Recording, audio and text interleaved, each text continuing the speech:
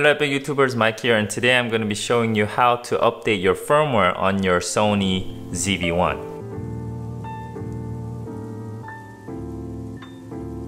Um, anyway, so the new firmware version is 2.0. It, it got released yesterday, which was February 9th. Um, I know I already made a um, video on how to update your full frame Sony camera, but I'm just making this again because uh, just for those, those people who just have ZV-1s and you know just first time updating this kind of stuff. It gets kind of scary.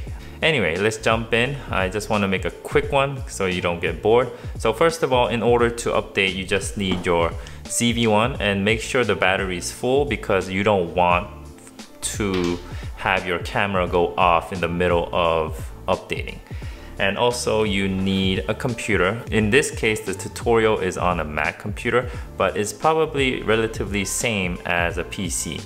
Um, and also you need a USB to micro USB cable. And so let's begin. So first of all, open up your web browser, any kind is fine. Me personally, I use Google and you go to the link. I'm gonna be posting up the link to the update on the description below, so check that out. So you go to this web page from Sony, obviously, and you're gonna see the ZV-1 system software update version 2.0. You'll see a download button, obviously, click, and then you just go down, down, down, then your download button is gonna get highlighted, and then you click on that. It's gonna pop up where you wanna save. I'm just gonna save onto my desktop So very relatively not so big, maybe big, it's 306 megabytes. So once it's done, you're gonna see it on your desktop.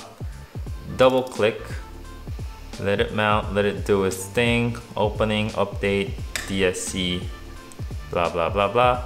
Okay, once it opens, this is gonna be a window and update settings tool, you're gonna double click on this. It's gonna give you a warning, just say open and you type in your password for your computer and this window is gonna pop. Connect the device to the computer with the USB cable. So now is when you get your ZV-1 and connect your USB to your computer and to your ZV-1.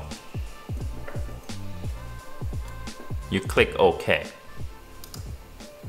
The camera is still off by the way and this is gonna bring up another warning. You just go open. Now you're gonna see and then you're gonna also again type in your password and this is gonna pop up. Now you just follow directions from here. It says turn on your camera so you turn it on.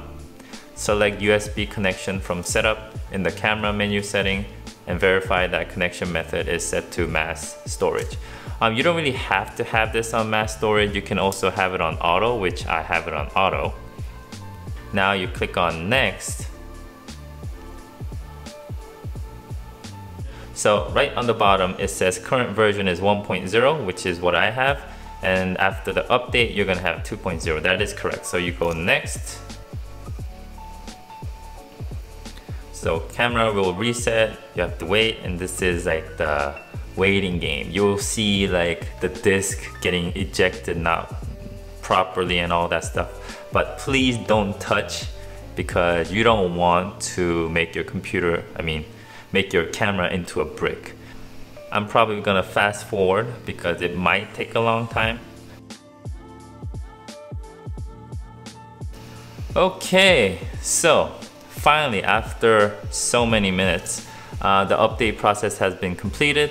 Now you're all good to go. So this time you just go finish, then the window is gonna close, everything's gonna look fine. So, so now version 2.0. That was it. Um, thank you for watching my video and hopefully this video helped you guys to successfully update your firmware on your Sony ZV-1. And if it, if it helped you out, please give me a like, subscribe uh, if you guys like to see um, more content related to camera, especially Sony and Fuji cameras. And, um, and until then, I'll see you guys next time. Bye.